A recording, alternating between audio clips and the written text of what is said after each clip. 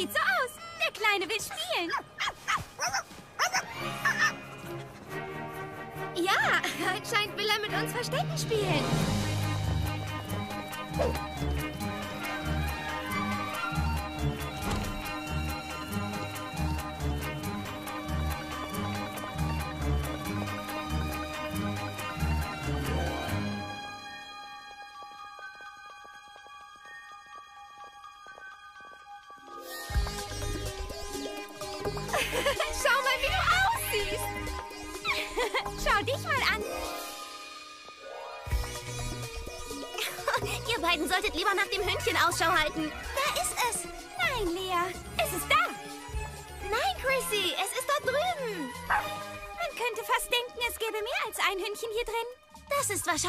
Optische Täuschung durch die vielen Spiegel. Aber wie werden wir es hier drinnen dann bloß finden? Nicht mehr nötig.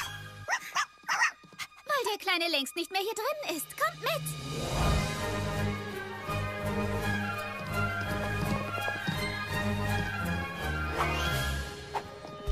Da ist es. So, jetzt haben wir dich. Moment, wo ist es denn jetzt hin?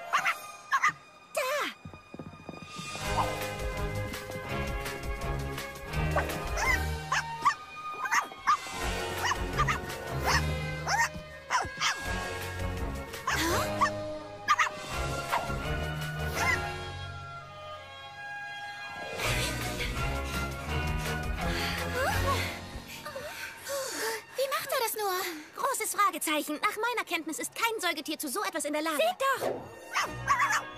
Aber, aber, wie ist es so schnell ganz darüber gekommen? Wie auch immer. Schnapp ihn dir.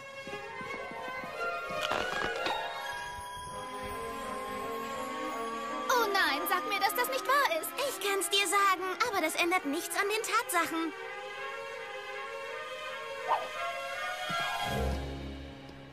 Oh nein, wie kriegen wir es nur von da oben wieder runter? Ich weiß wie. Los, kommt! Von der höchsten Stelle des Riesenrads aus können wir das Hündchen gut erreichen. Ich glaube es nicht. Jetzt ist es auf der Promenade da drüben. Wie ist es so schnell dorthin gekommen? Moment, seht nur.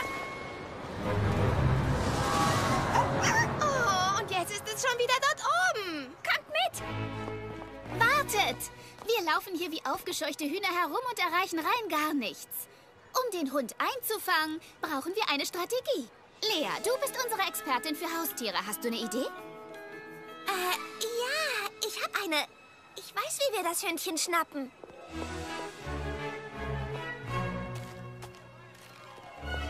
Statt hinter ihm herzurennen, locken wir es einfach her. Mit diesem Leckerli. Hey, Bürschchen. Komm schön magst du runter. Popcorn? Das ist lecker. Du Hallo, runter. Nanu, das Popcorn ist weg. Eine tolle Strategie. Los, weiter. Er läuft da unten am Strand. Ich habe ihn gerade auf der anderen Seite der Promenade gesehen. Wartet, da ist es. Da ist das Hündchen. So, und jetzt wisst ihr alles, was ich auch weiß. Und das ist nicht viel. Die ganze Sache ist ziemlich unheimlich. Es ist fast so, als könnte dieser Hund an zwei Orten gleichzeitig sein. Aber das ist doch unmöglich, oder?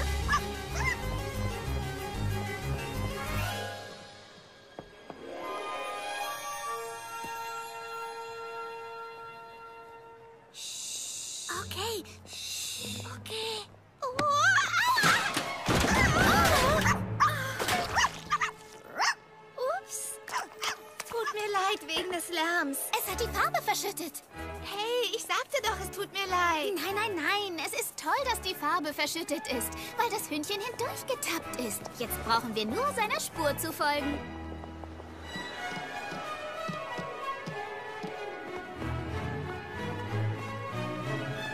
Seine Pfotenabdrücke führen direkt zum Strand. das ist fast zu einfach.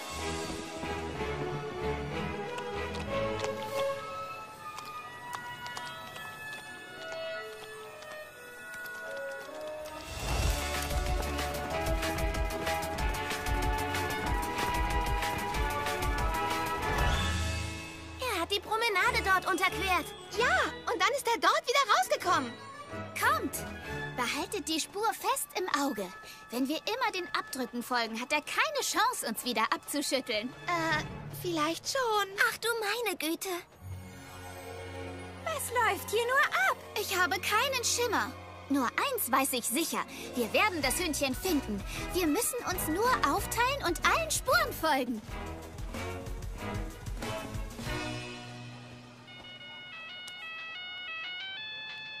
Chrissy? Polly, ich sehe das Hündchen. Es ist wieder auf der Promenade in der Nähe der Spiele. Ich bin gleich da. Lea, ich bin unterwegs zu Chrissy. Sie hat das Hündchen gleich. Chrissy? Aber das Hündchen ist hier. Es läuft am Strand vor mir her. Ach ja? Ist das so? Okay, warte, ich bin sofort bei dir.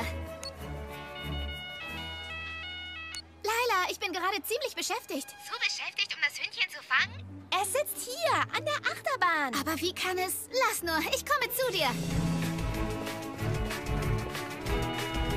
Polly, komm zum Riesenrad und zwar schnell. Das Hündchen ist hier.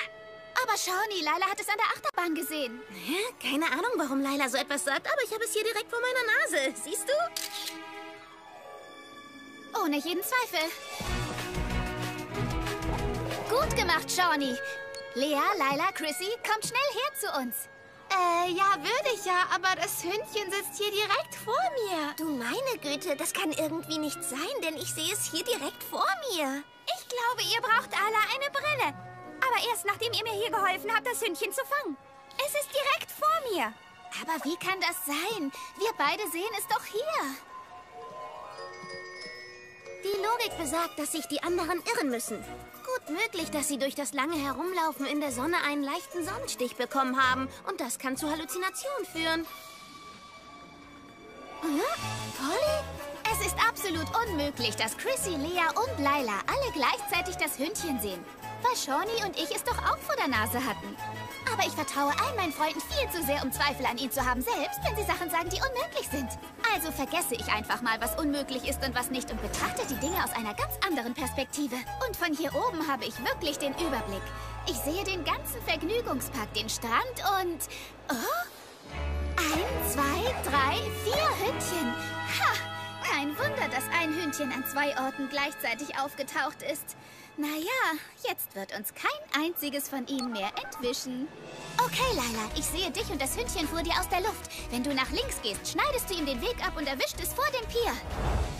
Polly, mit deinen Anweisungen hatte das Hündchen keine Chance. Das hat toll geklappt. Und wie das geklappt hat. So gut, dass wir alle ein Hündchen gefangen haben. Aber wieso? Wie kommt es, dass es plötzlich so viele Hündchen sind? Weil es von Anfang an so viele waren. Da, bitte.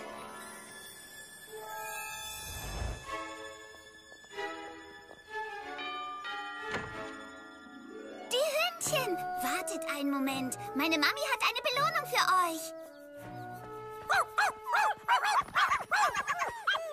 Oh, die Wilden sind wieder da. Das muss ich Mami sagen. Huch, ihr habt die Hündchen gefunden. Ich glaub's einfach nicht. Wer seid ihr denn? Die Hündchen, sie sind wieder da. Das muss ich Mami sagen. Äh, kann mir jemand erklären, was hier läuft? Ach du meine Güte! Ihr habt die Hündchen meiner Mädchen gefunden. Vier gleich aussehende Hündchen für vier gleich aussehende Vierlinge. Habt vielen, vielen Dank. Ich hole euch eure Belohnung. Oh, nicht nötig. Die Hündchen sind wieder zu Hause. Das ist für uns die schönste Belohnung. Und außerdem haben wir ja noch einen ganzen Tag im Vergnügungspark vor uns. Naja, einfach war es nicht, aber Ende gut, alles. Äh, Polly? Oh, das Ganze nochmal von vorne. Ja, Pollyville ist großartig, aber es wird jeden Tag großartiger. Zwei neue Mädchen sind hergekommen. Eine kommt aus der Großstadt und die andere kommt vom Land. Und beide werde ich genau jetzt treffen. Hi, ich bin Polly. Äh, hi, ich bin Laila. Und ich bin Lea. Äh, warum das Spruchband? Ja, wer organisiert denn eine Willkommen-zu-Hause-Party für zwei neue Mädchen? Ich! Pollyville ist euer neues Zuhause. Und wie könnte man euch besser begrüßen als mit einer Party? Hey, nicht so schnell. Zu Hause? Ich bin gerade erst angekommen. Entschuldigung, Aber wer weiß, ob ich hier bleibe. Naja, Pollyville sieht ganz nett aus, aber ah, mir fehlen schon jetzt die Felder und Farmen wie da, wo ich herkomme. Und mir die Skyline, die Wolkenkratzer, die Fünf-Sterne-Restaurants der Großstadt. Oh nein, bitte, gebt Pollyville eine Chance. Nirgends sonst könnt ihr den besten Tag aller Zeiten erleben. Ich werde es euch beweisen. Mit der besten Willkommensparty aller Zeiten. Für euch beide. Ihr werdet sehen. Ach, ist das toll! Ja, wow. Aber bei dieser Party scheint etwas Wichtiges zu fehlen. Ich weiß nicht, wie er das hier macht, aber zu einer Party in der Großstadt gehören, naja, Gäste. Oh, die sind längst eingeladen. Aber ich wollte, dass ihr die Ersten seid, damit ihr das Essen und die Musik aussuchen könnt. Ihr sollt euch hier möglichst schnell einleben. Und damit ihr euch wirklich in Pollyville willkommen fühlt, feiern wir die beste Party aller Zeiten. Ich weiß nicht. Nun kommt schon. Okay.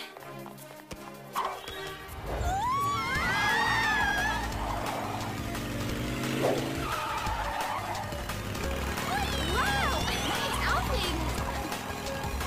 Zuerst das Essen. Ich kenne einen Diner, da gibt's einfach alles. Wir bestellen, was ihr haben wollt und dann geht's weiter. Äh, nein. Das mag ich nicht. War wohl nichts. Na gut, wie wär's mit Truthahn?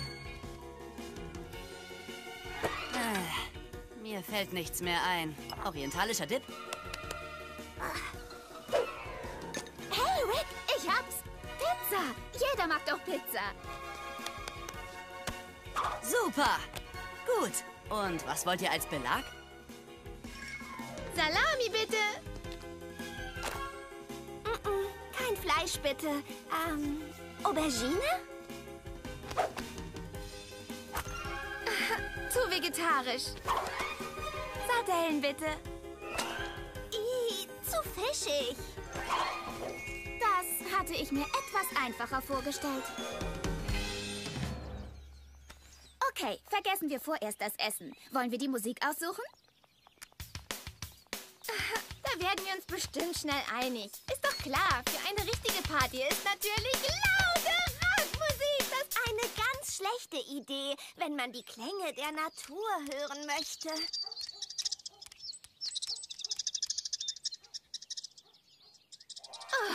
zu leise. Stimmt nicht. Okay, vergessen wir vorerst das Essen und die Musik.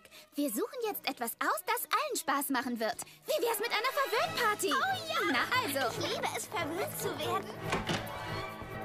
Oh, nehmen wir uns Haarbürsten? Toll. Ich bürste dein Haar mit meiner und du dann meins mit deiner. Vergessen wir es. Meine Freundin Chrissy ist die begabteste Künstlerin in ganz Pollyville. Wenn man eine kreative Lösung für ein Problem braucht, muss man sich an sie wenden.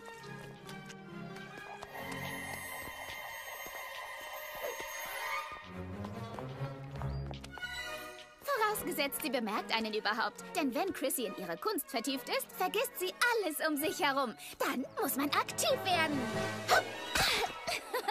Oh, hey, Polly. Ich hab dich gar nicht reinkommen sehen. Ich arbeite gerade mit einem fantastischen neuen Material. So etwas habe ich noch nie gesehen. Und ich habe schon alles gesehen. Was soll das denn werden? Ich bin mir nicht sicher, aber vielleicht wird es mein Meisterwerk. Oder doch nur mein Mittagessen. Mmh, Kartoffelbrei. Oh, wie aufregend modern. Und biologisch abbaubar. Danke. Chrissy, wir brauchen deine Hilfe. Ah, ja? Okay, hat dein kreativer Kopf eine Idee für eine krasse Party? Für Laila und Lea, die nie der gleichen Meinung sind? Ja, doch. Und was wäre das? Eine Kunstparty natürlich. Das ist eine tolle Idee. Dann lasst uns anfangen. Ich besorge Papier und ein paar Filzstifte. Oh, und ich besorge Farbe. Und Kittel. Ah, Und ich frage meine Eltern, ob sie uns ein paar Kunstwerke aus ihrer Sammlung leihen. Und ein paar ihrer Künstlerfreunde lade ich zum Empfang ein. Und dann machen wir noch Limousinen für die Kritiker. Was? Meintest du nicht Kunstparty? Es tut mir leid, Polly. Aber wie es scheint, können wir beide uns auf absolut nichts einigen. Das ist das Erste aus deinem Mund, dem ich zustimme. Es ist nicht deine Schuld, Polly. Vielleicht ist Pollyville der falsche Ort für uns. Wartet, so schnell gebe ich nicht auf. Was sagt die Uhr? Huch! Nicht mehr viel Zeit bis zur Party. Los, kommt! Meine Freundin Shani hat bestimmt eine Idee. Sie ist ein absolutes Genie. Schließlich hat sie einen Raketenantrieb für diesen Scooter konstruiert. Was für Raketen?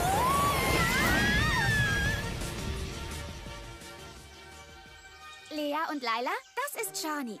Shani weiß eine technische Lösung für jedes Problem. Sie hat den IQ einer Hochbegabten. Stürzt dich, dass ich mit dir angebe? Nein, wieso? Ich kann's ja auch beweisen. Auf diesem Schaubild seht ihr die harten Fakten. Schon in Ordnung. Eigentlich brauchen wir deine Hilfe für ein Riesenproblem. Riesenproblem? Kein Problem. Hier drin findet sich mit Sicherheit die Lösung für jede eurer Schwierigkeiten. Was habt ihr für ein Problem? Ein astrologisches, biologisches oder mythologisches? Überlasst die Lösung mir. Ich habe bestimmt das richtige Gadget dafür. Großartig. Ich will eine Party geben, die zwei Personen, die sich auf nichts einigen können, am Ende ganz wunderbar finden. Dafür habe ich wohl keine technische Lösung. Tut mir leid, Polly. Proton, Photon, Elektron. Damit kann ich helfen. Aber Partys? Ich glaube, eine Lösung für das Problem wird man nie erfinden. Schon in Ordnung, Shawnee. Ich weiß, irgendwo in Pollyville muss es etwas geben, mit dem euer Willkommen absolut perfekt wird. Und wir werden es finden. Wir müssen uns beeilen.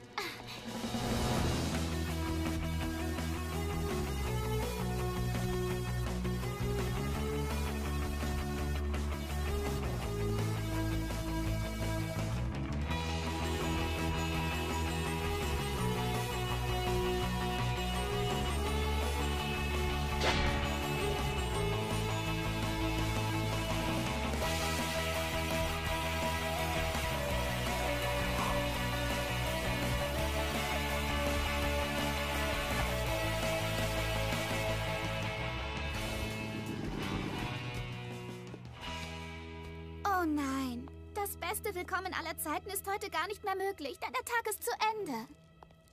Tut mir echt leid. Was tut dir leid? Ja, es war doch der beste Tag aller Zeiten. Ja, das finde ich auch. Wirklich? Das findet ihr? Ja, Ja, wir haben alle kennengelernt. und alles gesehen. Alles an einem Tag.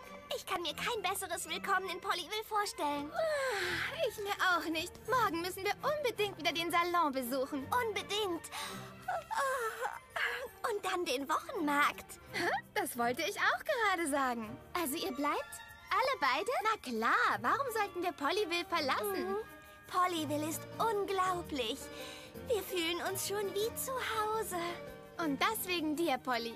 Ah, gut. Und nach dem Wochenmarkt besuchen wir am besten gleich Gut. Vielleicht war alles nur ein Zufall, aber ich hab's hingekriegt. Das beste Willkommen aller Zeiten für alle beide. Danke nochmal, Polly. Für alles.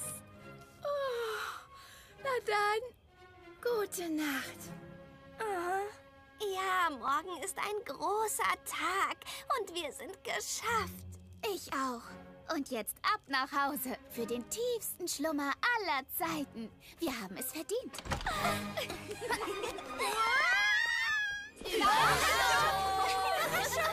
Wir freuen uns riesig, dass ihr hier seid. Ihren tollen Tag. Ach ja, die Party. Die hatte ich ganz vergessen. Ich auch. Und nach diesem tollen Willkommen für uns heute sind wir fix und fertig. Aber was ist mit der Willkommensparty? Da es schon so spät ist und wir unsere Augen kaum offen halten können, sehe ich nur eine einzige Möglichkeit. Wir machen daraus die beste Pyjama-Party aller Zeiten. Für einen guten Zweck. Oh, wann ist Polly denn endlich mit ihren Keksen fertig? Wenn mich mein hundertprozentiger Geruchssinn nicht täuscht, ist es gleich soweit. Drei, zwei, eins. Wer möchte einen Keks? Gut, hier ist einer für dich, für dich, für dich und für dich.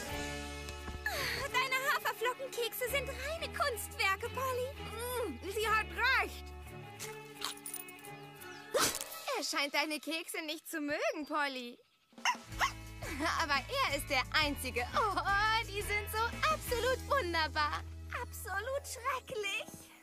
Lea, was ist passiert? Es geht um den Pollyville Park. Ich weiß, es läuft schon seit einiger Zeit eine Spendenaktion, damit eine Schaukel für den Kinderspielplatz gekauft werden kann. Ja, aber es ist einfach nicht genug Geld zusammengekommen. Und heute Abend läuft die Frist ab. Das heißt, es wird nichts mit der Schaukel? Wie schrecklich! Ich möchte irgendwie helfen, solange noch Zeit ist. Aber ich habe einfach keine Idee, wie man das Geld so schnell zusammenbekommt. Hier ist ein Keks. Das hebt die Stimmung. Oh, ich glaube, das schafft kein Keks. Hey, der ist wirklich lecker. Denkt ihr das Gleiche, was ich denke? Na klar! Ja, dass Rubidium ein alkalisches Metall ist? Ich habe keinen Schimmer, aber das zählt als Ja. Hm, Ich brauche noch eine kleine Aufmunterung. Kannst du vielleicht noch ein paar mehr von deinen Keksen backen, Polly? Mit Sicherheit, aber nicht für dich. Denn wir werden sie verkaufen und sammeln damit das Geld für den Park. Du bist die Beste, Polly. Aber du musst dich beeilen. Die im Park brauchen das Geld spätestens heute Abend. Rein rechnerisch ist es ganz einfach. Wenn wir viel Geld sammeln wollen, Polly, musst du viele Kekse backen. Aber ich habe nie mehr als 10, 12 Stück auf einmal gebacken. Ich werde Hilfe brauchen. Ich könnte schnell meine Helferrobotine holen. Nein, danke, Shawnee. Deine Robotine ist eine unglaubliche Maschine, aber ich backe ausschließlich in Handarbeit. Und wenn ihr alle mit anpackt, können wir in kürzester Zeit jede Menge Kekse backen.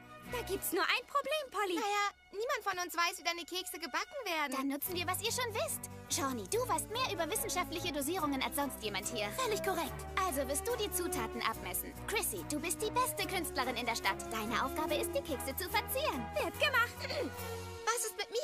Es gibt doch bestimmt eine wichtige Aufgabe, die jemand mit meiner Klasse und meinem guten Geschmack übernehmen kann. Ja, mit deinen außergewöhnlichen Qualitäten wirst du unsere Geschmacksexpertin. Also Leute, fangen wir an.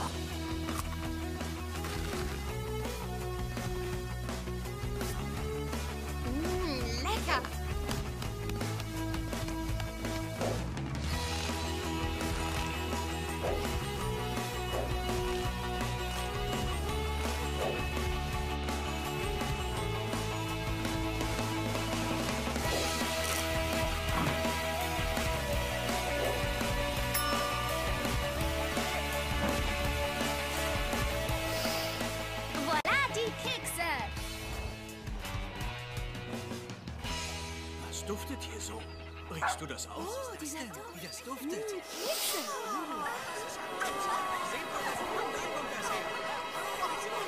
Wir sind ausverkauft. Eine tolle Nachricht. Und hier die schlechte. Das Geld reicht leider nicht für die Kinderschaukel. Und hier noch eine schlechte Nachricht. Seht nur. Wir sind ausverkauft und jeder, der Kekse gekauft hat, möchte noch mehr. Und anscheinend haben viele ihre Freunde mitgebracht. Warum sollen das denn schlechte Nachrichten sein? Bei so vielen Kunden könnten wir noch Tausende von Keksen verkaufen. Ja, und dann bekämen wir genug Geld, damit die Kinder ihre Schaukel bekommen. Oh, meinst du, das können wir wirklich schaffen, Polly? Ich weiß, dass wir es können. Lea, du bleibst hier und sorge mit allen Mitteln dafür, dass die Kunden bleiben. Wir anderen kaufen mehr Zutaten, backen viele Kekse und sind so schnell wie können wieder da. Wir haben bereits alle Vorräte bei mir zu Hause aufgebraucht. Deshalb habe ich eine Einkaufsliste gemacht. Okay, dann schnappen wir uns mal das ganze Mehl, das es hier gibt. Äh, welches Mehl denn? Oh nein, es ist ausverkauft. Hier gibt's fast gar nichts. Wenn mich meine hundertprozentige Beobachtungsgabe nicht täuscht, fehlt in diesem Laden all das, was wir brauchen. Jetzt nur keine Panik. Aber die Zeit rennt uns davon. Gut, dann teilen wir uns auf. Geht in jeden Laden in Pollyville, der euch einfällt. Irgendwie kriegen wir die Zutaten schon zusammen.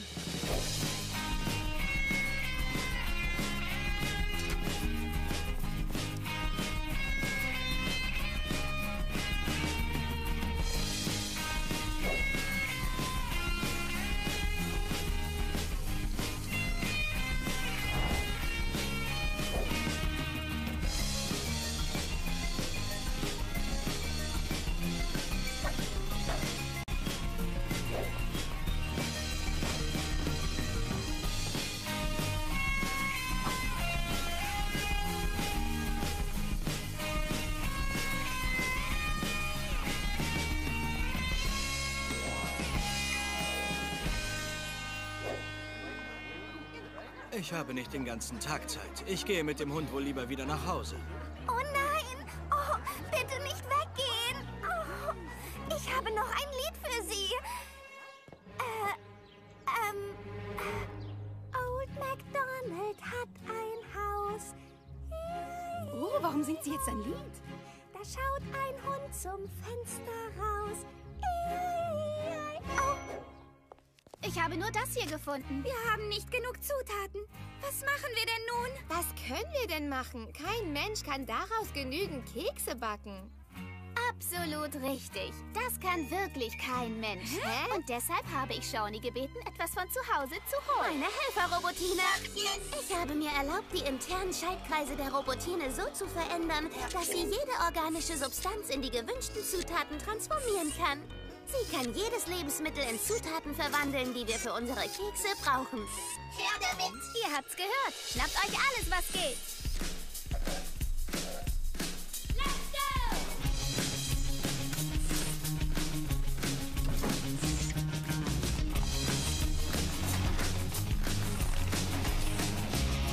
Take a look around your ordinary world.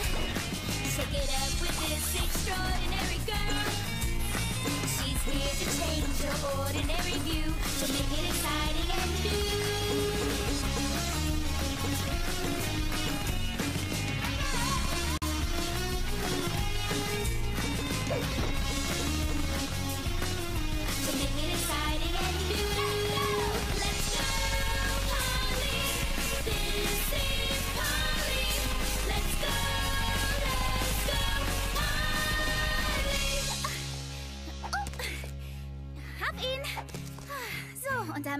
Am Beginn unserer Geschichte.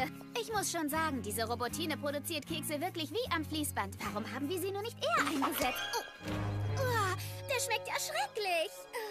Lass mich das beurteilen. Schließlich bin ich die Geschmackstesterin hier und... Ugh, du meine Güte, die sind ja ekelhaft.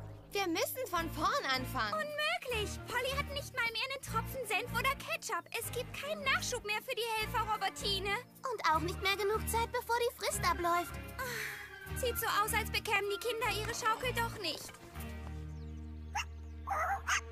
Glaub mir, die magst du nicht.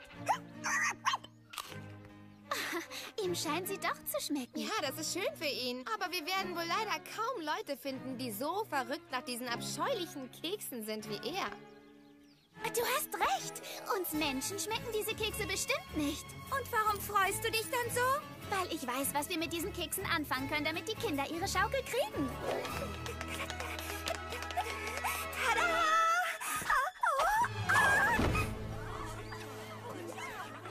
Anscheinend richtig Talent für Stepptanz. Ihr habt's geschafft. Die Kekse sind rechtzeitig fertig. Naja, es ist nicht so, wie du denkst. Bitte? Was hat sie gesagt? Wie war das? Merkwürdig. Was ist denn jetzt los?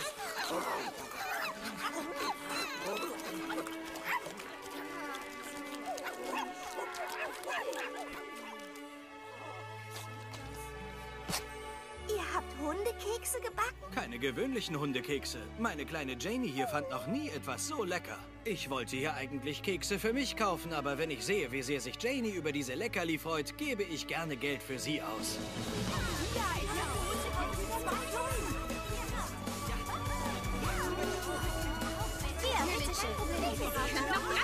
Wie ich immer sage, alles ist möglich, wenn ihr eure Fantasie einsetzt. Am Anfang gab es Probleme mit unserem Keksbazar, aber wir haben daraus einen riesen Erfolg gemacht. Wir haben genug Geld gesammelt und in der vorgesehenen Zeit. Es hätte nicht besser laufen können. Ich bin rundum begeistert.